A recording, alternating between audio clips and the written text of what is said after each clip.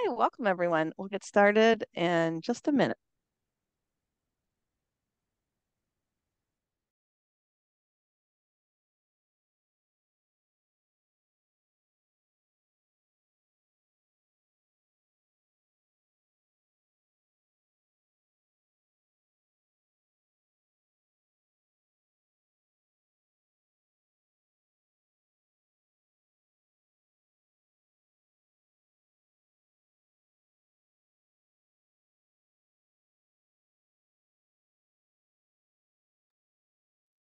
Hi, welcome everyone. My name is Sarah Carr. I'm Chief Knowledge Broker for OCTO, which stands for Open Communications for the Ocean. And we're very pleased to have you here today for today's webinar with Catarina Frazão Santos uh, from the University of Lisbon on taking climate smart ocean planning and governance to the high seas. Um, before we get started, uh, I wanted to let everyone know that uh, we'll first have Catarina's presentation, which will be about 30 to 40 minutes, and then we'll we'll have dedicated time for question and answers afterwards. We welcome you to send in questions at any point throughout the webinar, although we'll ho hold substantive questions till the end. Um, but you can send in questions through the question and answer panel. You can type them in, uh, or you can type them into the chat. It's a little bit easier to moderate with the question and answers, but I'm also going to be monitoring the chat uh, for questions as well. Um, with the chat, we highly encourage you, if you have information on this topic, to share. If you have responses to anything Catarina said, if you have additional information to share, resources, questions for other practitioners, um, we welcome you to put them in the chat and make them available to everyone on the webinar. Um, we encourage you to use it. Just please keep it on this topic and professional. Um, and I also wanted to recognize that we'll have two additional panelists who'll join us um, at the start of the question and answer period. Uh, Tundi Agardy from Sound Seas and Baird and Associates, and Larry Crowder from Stanford University, who are also involved with this project. Um, so I'll go ahead and turn it over to Catarina now. Thank you so much for being here. Thank you so much, Sarah. I'll just try to share my screen. Okay, it should be on now.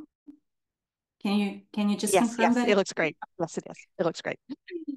So hello everyone and welcome to this webinar about climate smart planning in the Southern Ocean and beyond. And it's great to be back at Octo's webinar. So thank you so much for hosting us.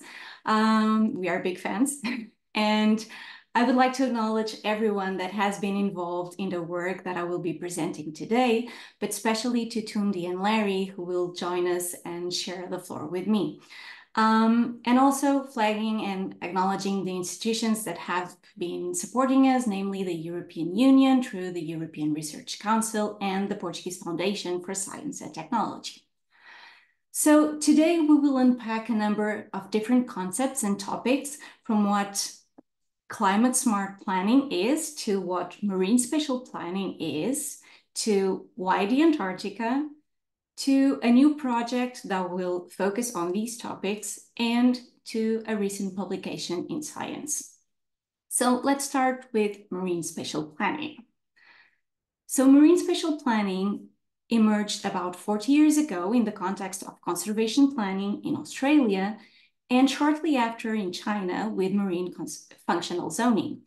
And since then, it has expanded all over the globe, being currently under development in over 100 countries in their exclusive economic zones and spread almost all ocean basins. So simply explained, marine spatial planning is a practical way to organize the use of the ocean in space and time and to manage interactions among human uses like fisheries or tourism, shipping, and between those uses and the marine environment. And so the ultimate goal is to reduce conflicts and promote synergies and balance human development with ocean conservation. And that is why it has been recognized as an important tool to support the achievement of global sustainability goals. And while many people think of marine spatial planning as a combination of maps and zoning schemes, and they are part of MSP, MSP is actually much more than that. MSP entails creating a shared vision maintaining a living process that is continuous and interactive, and if properly done, will never end. It requires effective monitoring and evaluation, and it optimizes ocean health to continue benefiting people. So a key point that is important to make is that marine spatial planning is not the same as marine protected areas planning or marine conservation planning. MPAs are areas set aside to protect part or all of the enclosed marine environment. It can be a species, it can be a habitat, and they can range from fully no-take areas to allowing some sort of ocean use, but they always focus on fulfilling protection and conservation goals. On the other hand, marine spatial planning is multi-sectoral, it is multi-objective, and while ocean health must be at its core so that it is sustainable in the long term, and while it can assign priority areas for conservation and support MPA's implementation, it offers a vehicle for a more structured integration of environmental, social, and economic objectives. This said, both marine spatial planning and marine protected areas planning and uses of the ocean and ocean ecosystems and conditions will all be affected by a changing climate and will need to prepare for it. So the most recent IPCC report has shown that Climate impacts are increasing both overall and in the ocean, and it is important to address these impacts for long-term ocean and human health. And so we do see that our ocean is continuing to getting warmer. It is getting more acidic with impacts for important ecosystems like coral reefs. Extreme events are becoming more frequent and more intense, increasing danger at sea. Winds and currents are changing their, their circulation patterns, and all of this is causing changes in the structure and functioning of marine ecosystems, with species redistributing and losses of biomass, and key effects for the billions of people that rely on the ocean for their livelihoods and subsistence. And so we know that different uses have different uh, will be differently affected by different drivers of change, and that this will change with region and context. But what we do know is that the ways that humans use the ocean and benefit from the ocean will definitely continue to change. And this brings us to the need for climate smart planning, and particularly for climate smart marine spatial planning. So Climate Smart MSP is MSP that integrates climate knowledge, is flexible and adapts to changing conditions, and supports climate adaptation and mitigation actions. And the need to move towards climate smart marine spatial planning has been recognized in the last few years, both at a scientific level and at the policy level. And in fact, in late 2022, the UNESCO and the European Commission jointly launched a roadmap that identified climate change and climate change marine spatial planning as one of the six key priorities for MSP development globally.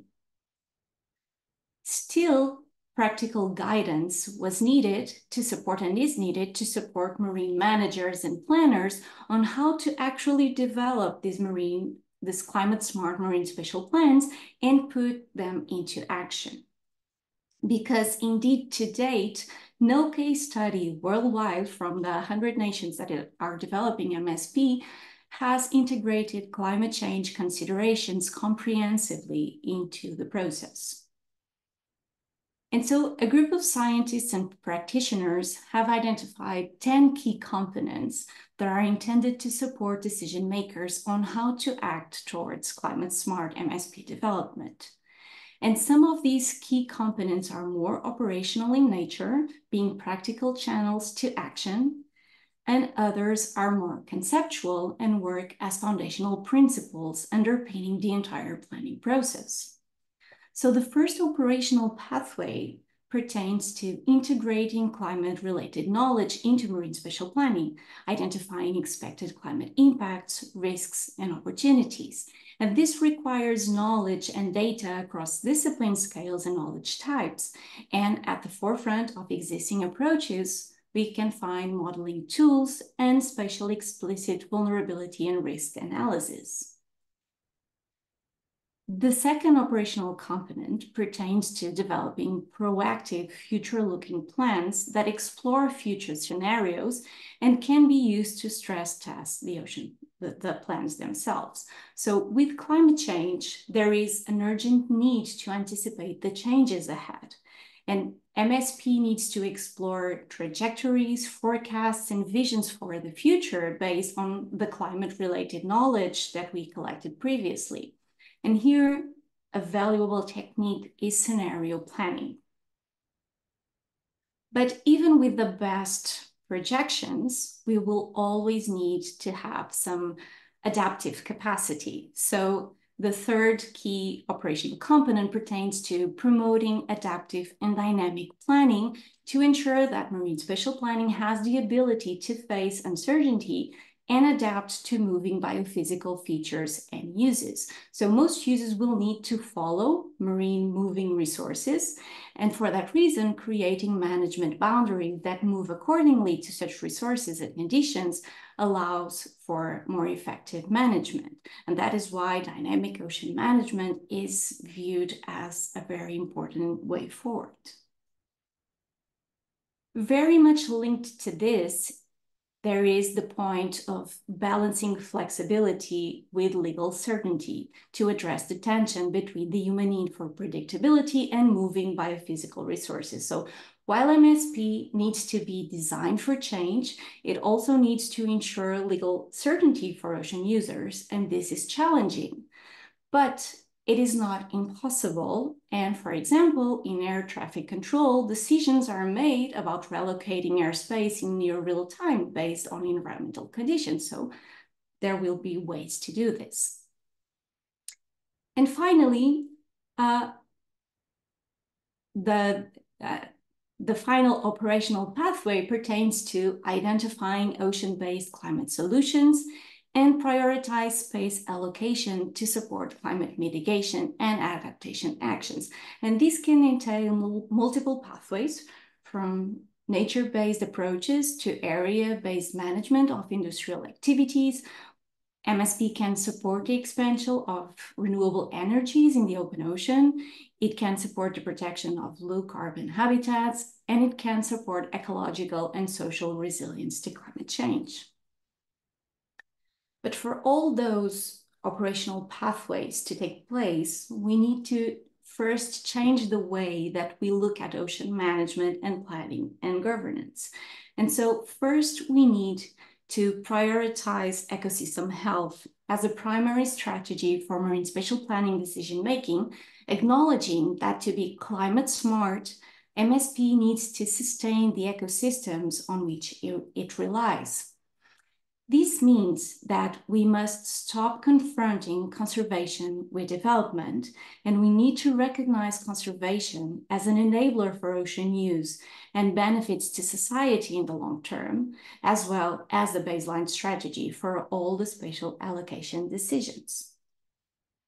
Another thing that we need to do is to understand system interactions and dynamics to promote an, an integrated and systems view of ocean planning. So ocean planning needs to be much more than marine planning. It has to be coastal planning, watershed planning, land-based planning, high seas planning, because they are all interconnected. So we must recognize complex social ecological interlinkages and cross biophysical, social, economic, and political boundaries. We must also reinforce the importance of social knowledge, equity, and change in co-developing sustainable ocean plans Equity in ocean use is being increasingly challenged by climate change, and in many situations, social challenge changes are more dramatic than ecological ones. So the social dimension really needs to be enshrined into the MSP process. We need to align policies for MSP and climate change to support the integration of climate change into MSP and effective coordination among different policy arenas. Traditionally, there has been a lack of mutual, mutual recognition between marine spatial planning policies and climate policies, and this must be overcome. And finally, and very importantly, we need to build common narratives together with policymakers, the private sector, civil society, and other integrated ocean management stakeholders to change perceptions of ocean sustainability and climate change.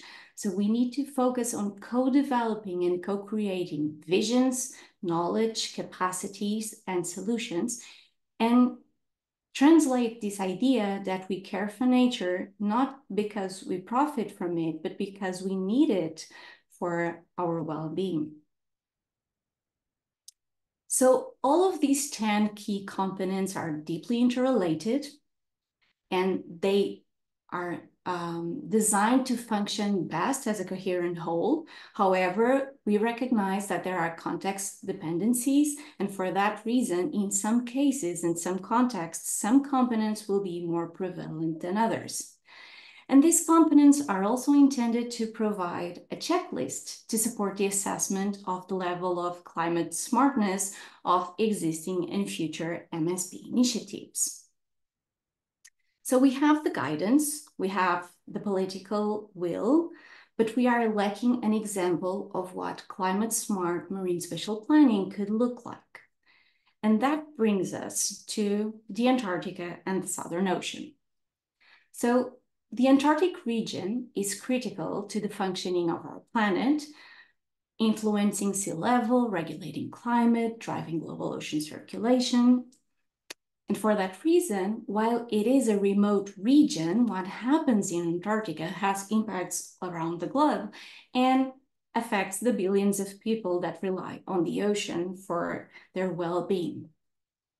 At the same time, Antarctica is being increasingly pressured by climate change, with, for example, records of sea ice loss that are increasing at alarming rates. It is also being increasingly pressured by human activities such as commercial fisheries and tourism. And work has been developed for many years to protect the Southern Ocean. For example, the Commission for the Conservation of Antarctic Marine Living Resources, CCAMLR, has advanced several conservation-focused initiatives from biodiversity hotspots identification to the actual implementation of large marine protected areas. However, because CCAMLR's focus is limited to marine living resources, in order to manage human activities comprehensively, including tourism, science, shipping, we need a broader approach to engage with the wider Antarctic treaty system. And that is why we have argued that the time is now to build on this work and take a broader path engaging all relevant parties and stakeholders in managing the Southern Ocean and addressing a wide range of interests in an integrated way through climate smart marine spatial planning. And we have made this point in the recent paper published in Science. And so this paper was intended to inform the annual Antarctic Treaty uh, meeting, consultative meeting that took place in late May this year. And at this meeting, the idea of climate smart marine spatial planning was going to be discussed for the first time as an official uh, agenda item. In fact, an information paper was submitted to the meeting by the delegations of Portugal, Canada, France, Italy, and the IUCN. And the paper was very short. It was a short piece, but it highlighted the opportunity to pioneer climate smart marine spatial planning in the Southern Ocean. And so this paper was backed up by the science paper that was timely published a few days before the meeting started. And so we argue that the Southern Ocean is the ideal place to trial climate smart marine spatial planning. But why, you may ask?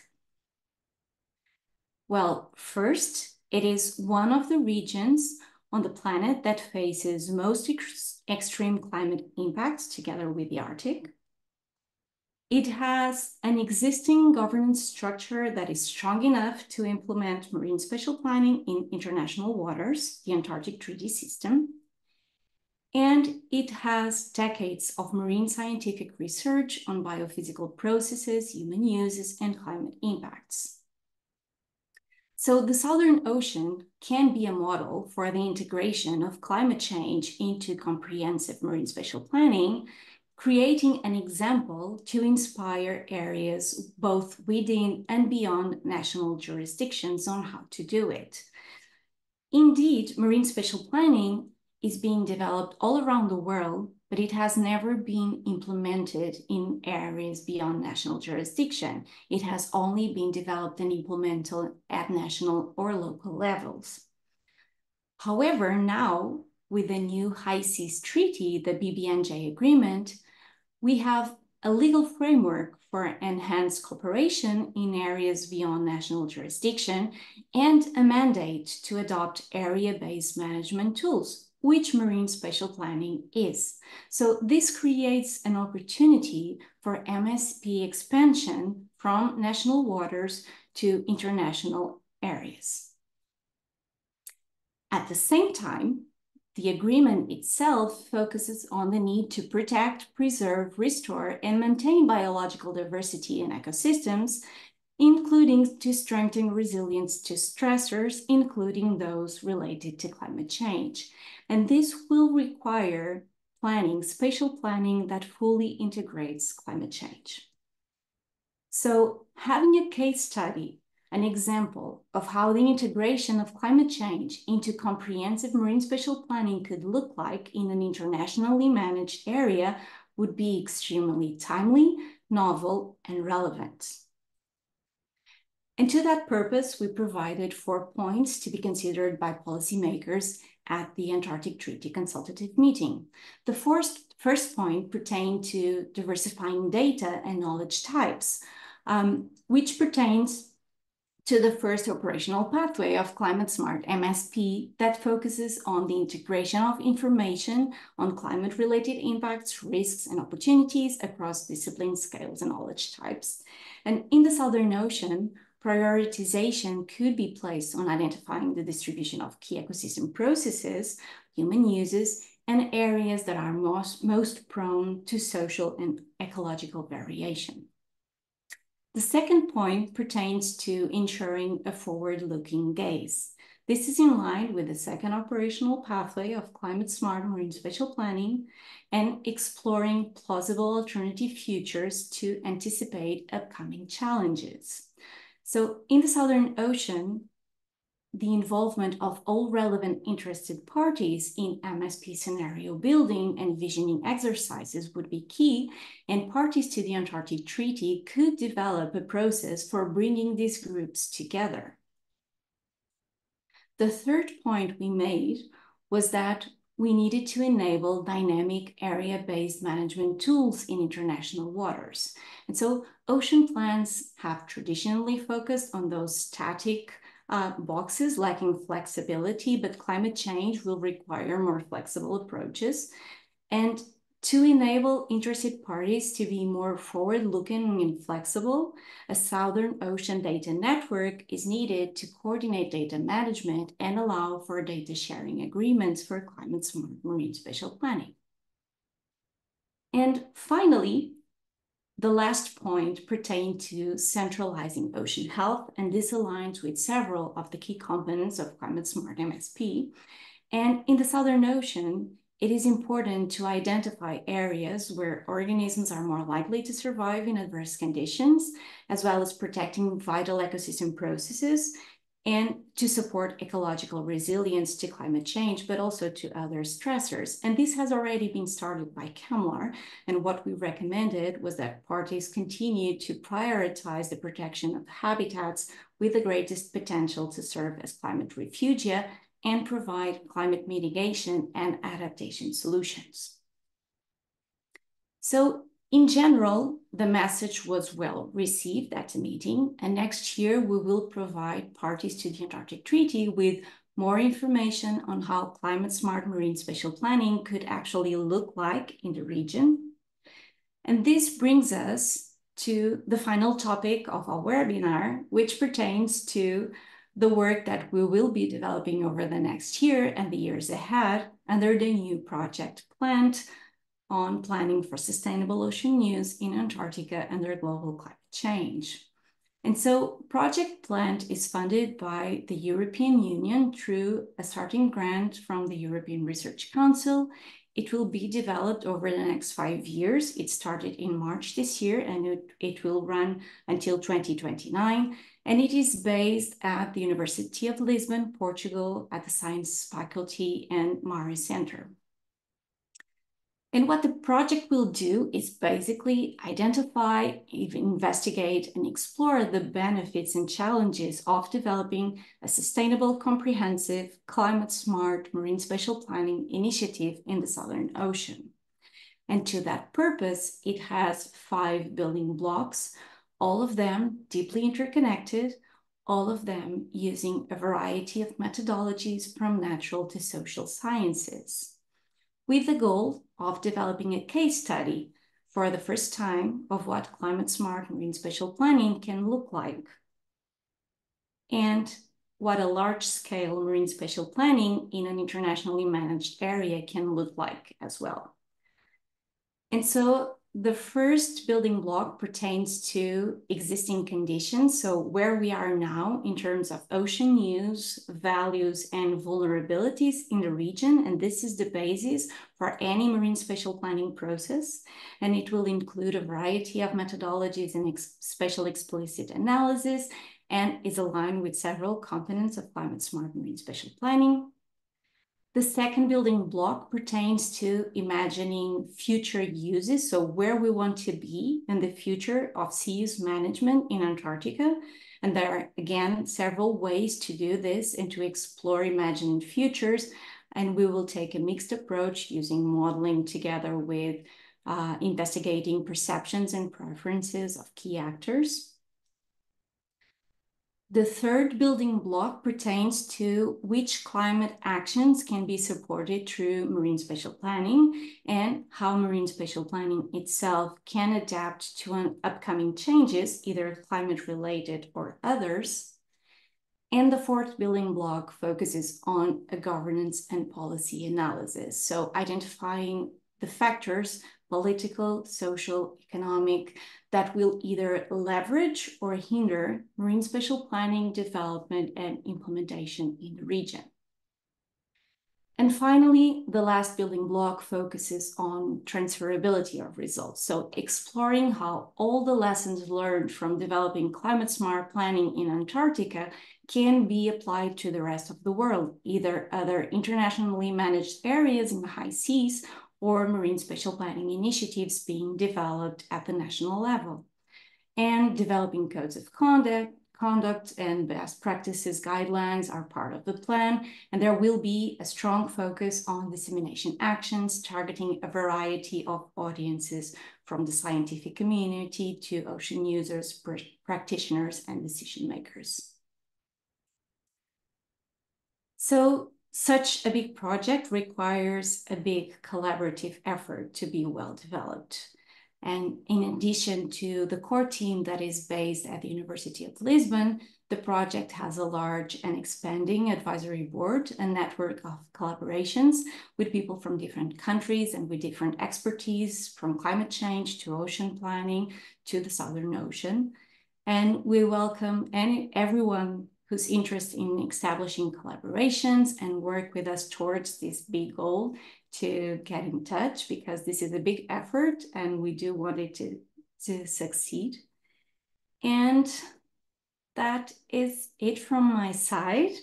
Thank you so much. And I will now give floor to two dear friends and mentors with whom I have the pleasure of working for many years now and that are part of the project advisory board.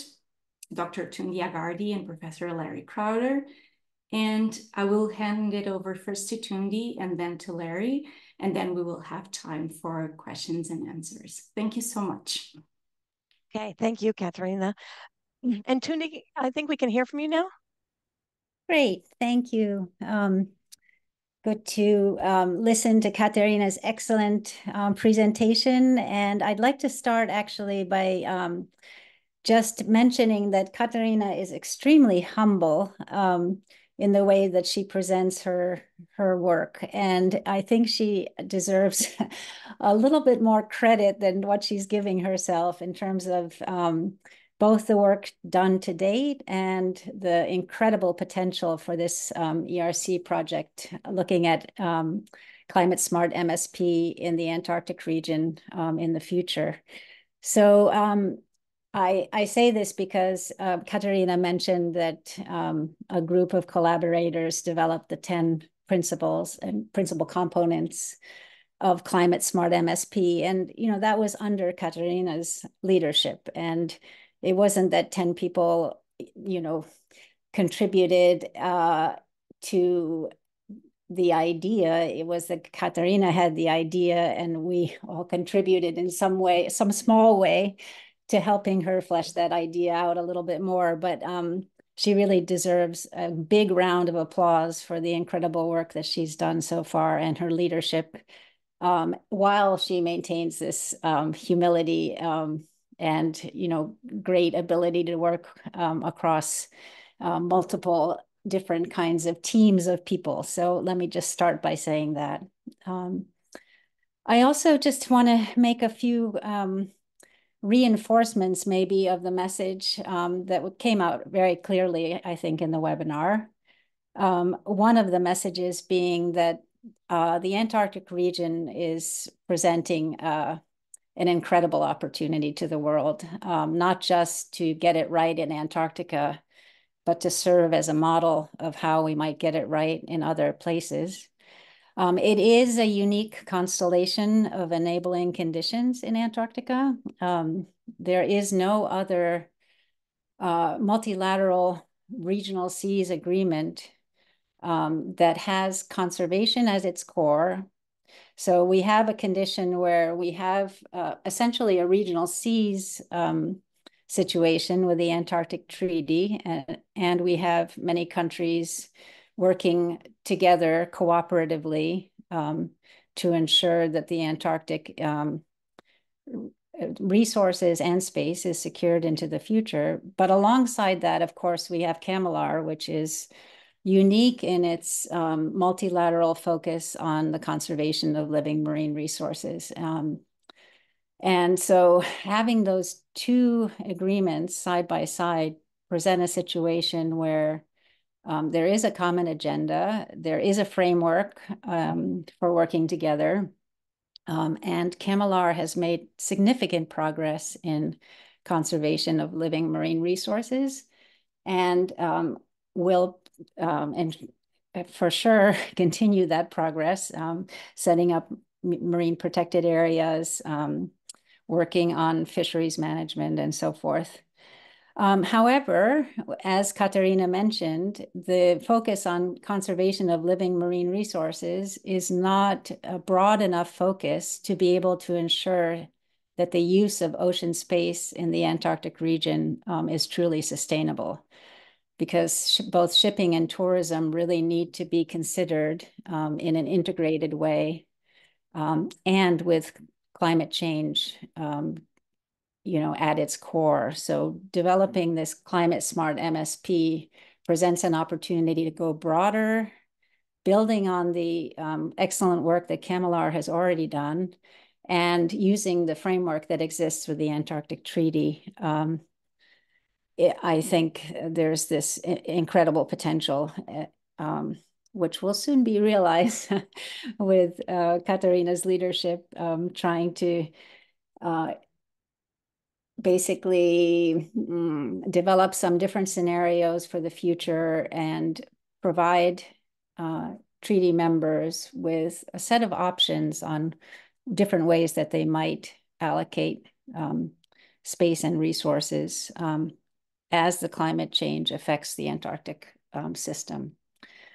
So um, Catarina mentioned that um, MSP is essentially um, organizing, a way to organize in time and space.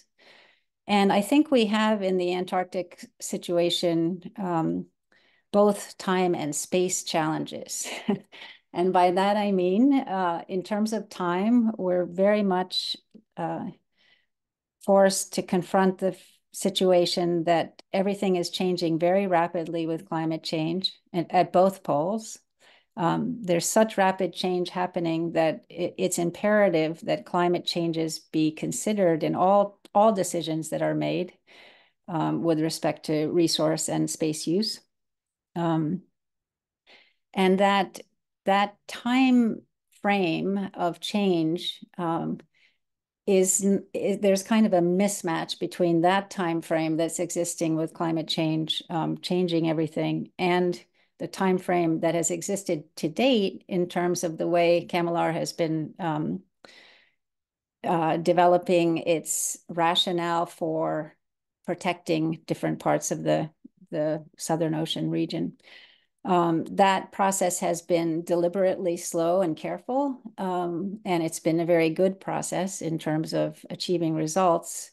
But um, the pace needs to be picked up due to the climate change um, changes that are happening and due to what that means in terms of um, both the ecosystem health of the Antarctic region and its ecosystems, but also um, what kinds of opportunities arise um, to different countries in terms of um, being able to use the Southern Ocean region.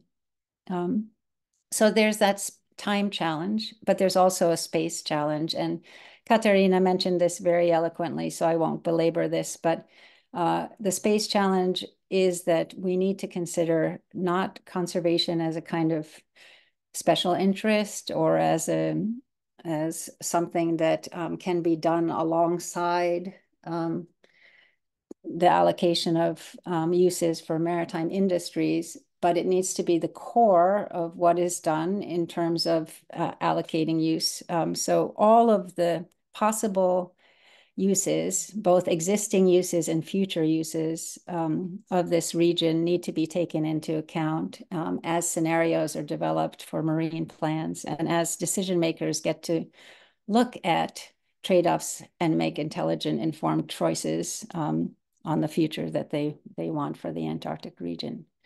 So uh, this project is um, extremely exciting because it presents the opportunity to do this in a unique place where the frameworks exist.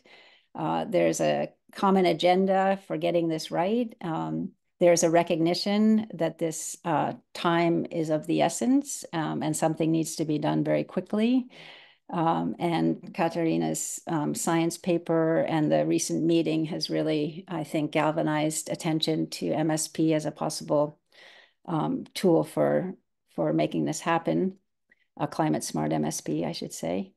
Um, but I want to also just end my comments by saying that um, having this project take place in the Southern Ocean, while it is a unique situation, there aren't inhabitants um, in Antarctica uh, it, so it presents a, a kind of interesting um, case that um, people might think is not very applicable to the rest of the world, but actually there's a huge swath of areas beyond national jurisdiction. Much of the world's world ocean um, could benefit from this kind of approach. And by field testing this in the Antarctic region, I think this will provide uh, a model for the future in terms of how climate smart MSP could be applied in, in BBNJ or ABNJ um, region around the world. So with that, um, I'll end and say thank you very much to um, Sarah for hosting the webinar and to Catarina for involving me, however marginally, in this project. Um, and I'll turn it over. I, I'm not sure that Larry is able to join, but I'll turn it back to you, Catarina. Yeah, and I don't I don't see Larry. But thank you so much, Tundi. And for, for everyone, this is Tundi Agardy of Sound Seas, and we really appreciate her being on to uh, speak about this project. Um, Larry is not able to join Catarina. So uh, we'll turn it back over to you. Also, would you be able to share your last slide, uh, which had the email addresses, Catarina? There were several people who asked because they were interested in contacting you guys.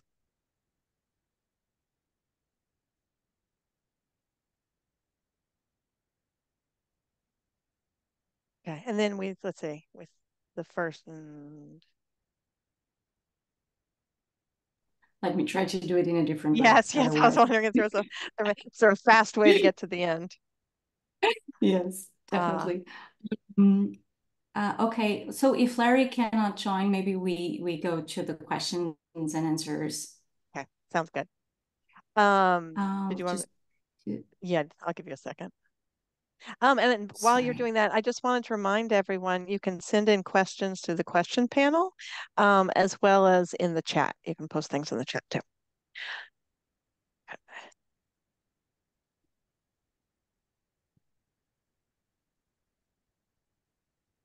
I'm almost there. Okay, no, it's good. Okay, Okay, wonderful. I- All right, thank you for, for putting that up. Okay, um, and thank you again, Tundi. Uh, so we'll start with a, a question that came in during the webinar. Um, thank you for the well thought out presentation. Can you share with us some concrete examples of integration of social considerations, such as justice and equity in marine spatial planning? That's a great question. Um, I don't have a straight answer to that, especially because uh, attention to to social justice and equity considerations on MSP and on ocean governance generally is a relatively new area. So I believe that for for the last few years we had we started to hearing more about it and more examples, uh, mostly at local scale, I think. Uh, but before that, there was not really that uh, attention to the topic, and specifically specifically on marine in, on the topic of marine spatial planning, even just integrating social the social dimen dimension beyond ocean uses and the economic relevance of those uses was somewhat limited. Um, so I don't think that I can give you a really good example of how a marine spatial plan has integrated uh, these aspects so far. Is something that we need to work towards too, as well as the climate side. Um, and so I want to make, I would like to, to also make the point that we have been talking about climate change and the challenge of climate change and that it poses to marine spatial planning. But just developing regular marine spatial planning without climate change cons considerations is a challenge in itself. And it faces a lot of um, problems and limitations from um, the need for monitoring and, and evaluation to the integration of stakeholders to political issues that end up defining if the plan is implemented or not. So we know that we are bringing a new level of com complexity to the process, but it's also something that we really need to tackle because the changes are here and will continue to be here. I don't know if Tundi wants to add something, if, if you know of any good example that I am not remembering uh, right now. Um, I don't, can you hear me? So we can hear you, Tundi. oh, okay, good. Sorry. I don't, yeah, didn't know if, if I was, um, had, was master of my own, my own mute button or not. Um, so yeah, the only thing I'd say, Catarina, is I think there are examples where the equity issues and the, the involvement of, um, local people are, um, almost guaranteed in processes where people are involved early and are part of the visioning for MSP. And this requires um, a bit of work on the part of um, marine planners because uh, it's much easier to, to plan at a coarse scale, at a large scale, um, and not involve a lot of stakeholder groups. Um, it's much harder to get to the to the fine scale or the local scale um, and hear from from representative stakeholders. Um, but there are, I think, examples where they they manage to do this in a hierarchical fashion, where you where you get the involvement of people from the ground up. Um, and that really drives the process. It's not um, kind of throwing a pin to the uh, to the stakeholder groups um, so that they'll accept a plan that's developed from on high, but rather um, a plan that's grown uh, from the bottom up. And there are examples of this, uh, for instance, in the UK, where um, marine spatial planning takes um, place at different scales um, and the involvement of local communities and actually setting the agenda on what they want to see the marine uh, spatial plan achieve. Um, it is a way to ensure that um, not only our voices heard, but that there's active, um, true participation in the process um, throughout. and uh, and to your point, Catarina, that it's we're not talking really here about conventional MSP. We're talking about climate smart MSP. Uh, the involvement of local people, local communities, um, local stakeholders um, can really not only um, give information on how climate change is affecting ocean use and how people are deriving benefit um, or are at risk um, from ocean use, um, but also um, can really uh, help frame that that vision for the future um, vis-a-vis climate change. In other words, what people want to see happen with regard uh, to uh, to the oceans changing um, changing face due to climate change. So I think um, there are examples of this. It's really hard to achieve that at very large scales. Um, and uh, this is why um, working in Antarctica is actually going to be a bit easier to do this at the large scale because of the, the lack of local communities and um, and inhabitants. So there are, of course, stakeholder groups um, with all of their diverse interests. Um, but uh, this idea of having to work at different scales um, isn't so pertinent at, in the Antarctic nor in the uh, BBNJ um, situation. Okay. All right. Thank you, Tundi and Catarina. Um, let's see. Another question that came in. Um, how can we contribute to further MSP, marine spatial planning development in these areas as scientists and MSP experts?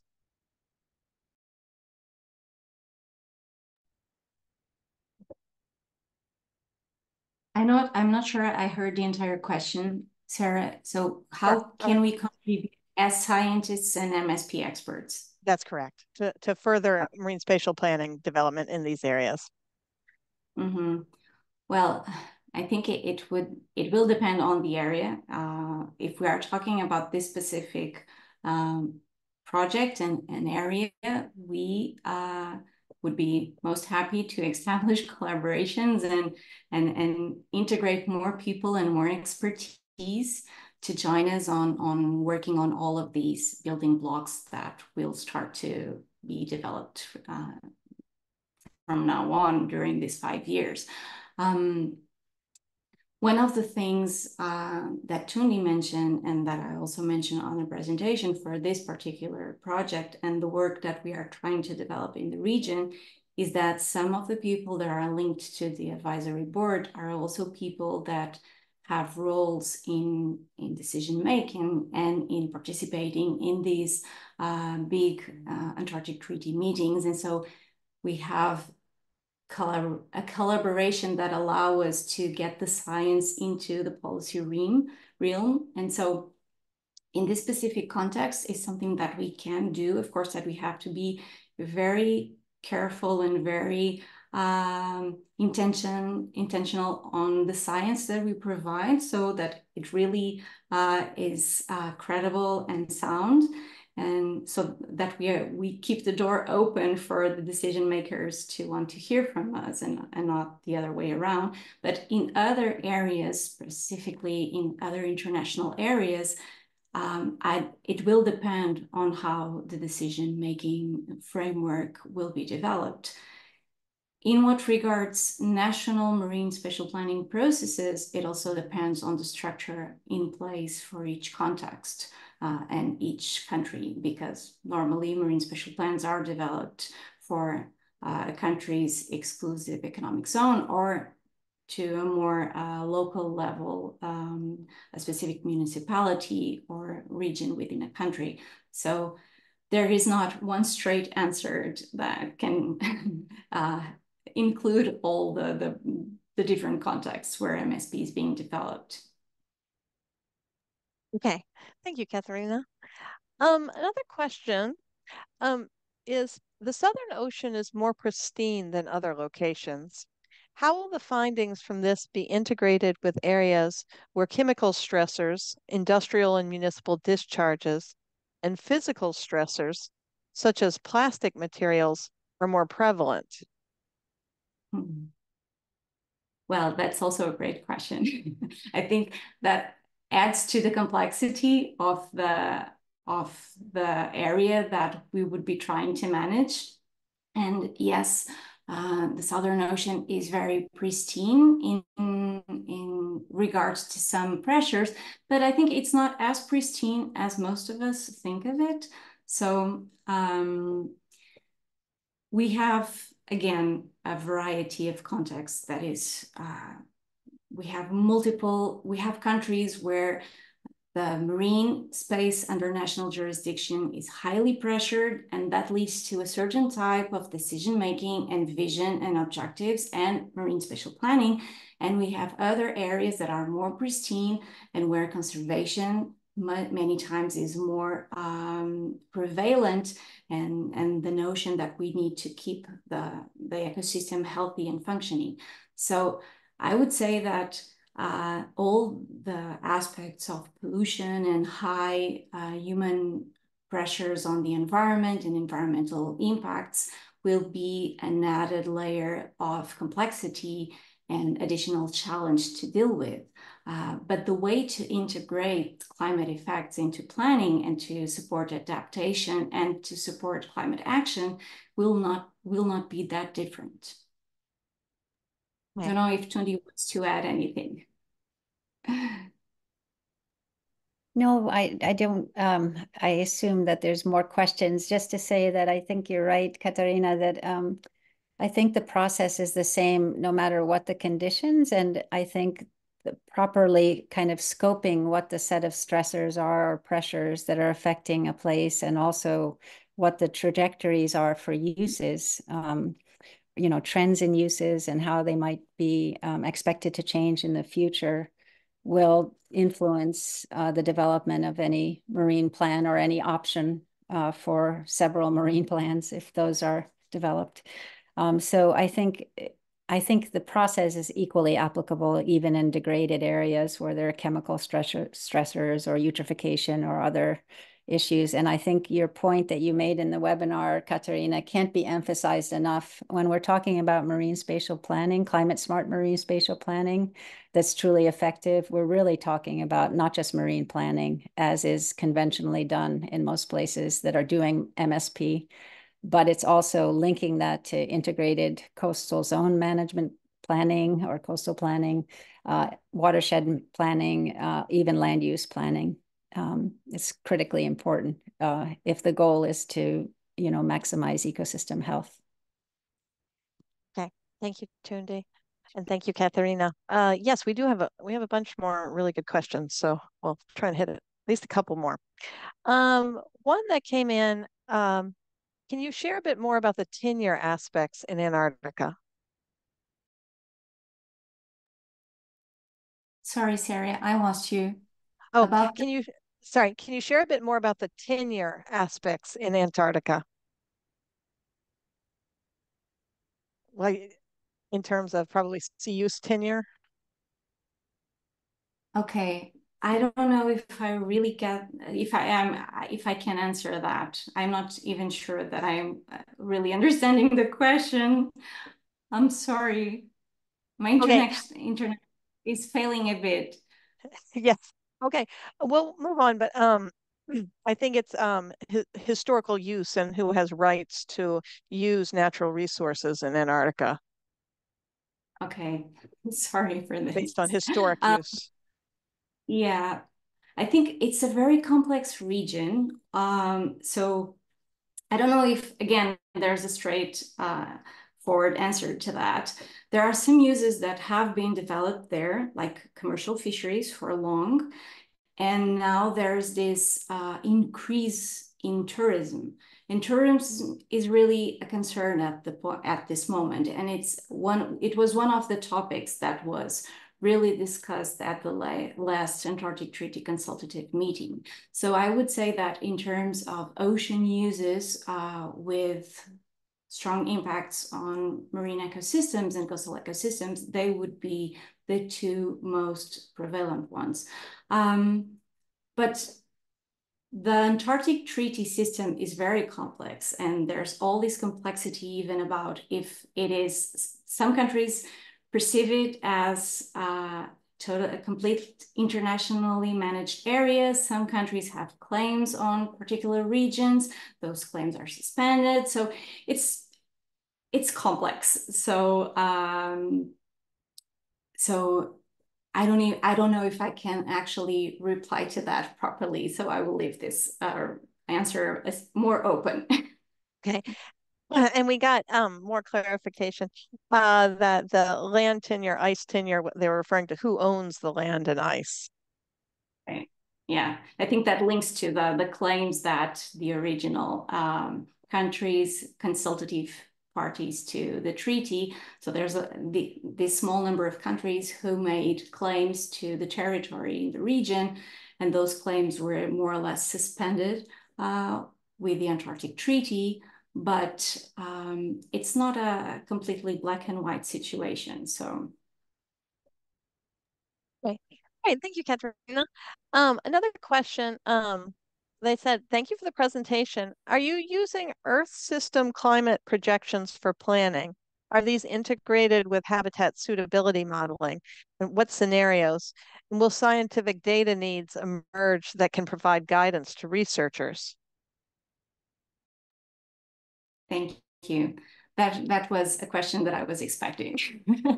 so we will we will still decide and define exactly what type of modeling we will use, but our first approach will be to to use species distribution modeling using the most recent climate um, couple model inter uh, intercomparison project phase six, so CMIP uh, six data, environmental data, and try to, to understand how the species are distributing and how they will be potentially distributed, redistributed in the future with climate impacts depending on the projections. So we will start there.